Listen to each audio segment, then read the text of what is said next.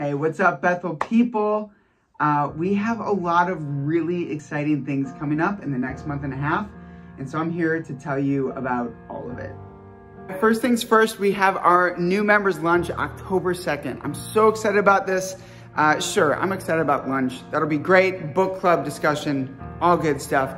But what I'm really excited about is to talk to over 15 people about what it looks like for them to be a member here at Bethel Community Church. We've said that we're here to proclaim the truth of Jesus and grow mature disciples for the glory of God. This is a chance for us to meet specifically with these people, talk about what that means for them, and as they become part of this church in more specific and intentional ways. All right, the very next week, we're gonna be back in here October 9th for baptisms. Always a great time uh, to hear people share their stories and encourage us as we see uh, God at work in their life. So if you want to be baptized, you can reach out to myself, the office, to Mike, to Pastor Hunter, uh, any of us, and we would love to help you with next steps with that. October 23rd, we're going to be having a time of prayer following our church service that day.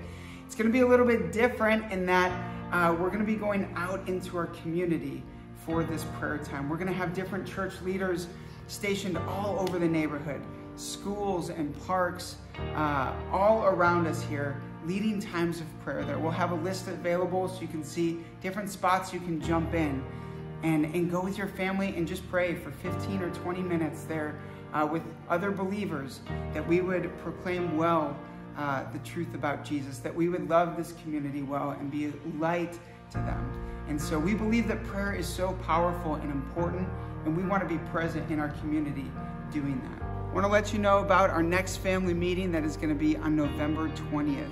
This is going to be a time for us to celebrate some of what God's been up to, look back at these last couple of weeks, last couple of months, and see his faithfulness and goodness in some of what he's been at work uh, doing within our body. It's also going to be a time for us to communicate some of our goals and some of the vision forward for where we see God leading us uh, time to look at some of the obstacles and some of the opportunities and to pray together and seek God together as we walk forward in that.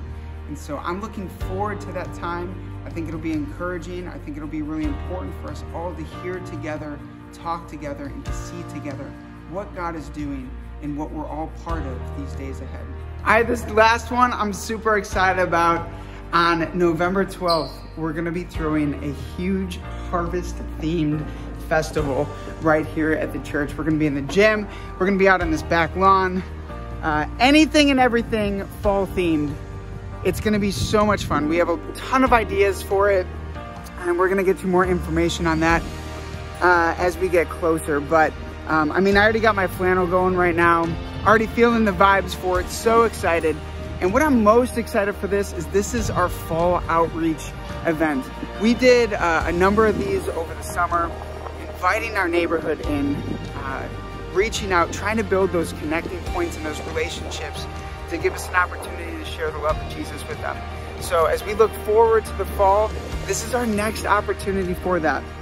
I want you to jump in on it and be part of it. Be here, have fun with it. There's gonna be ways to serve for it as well. So put it down in your calendar, plan on being there.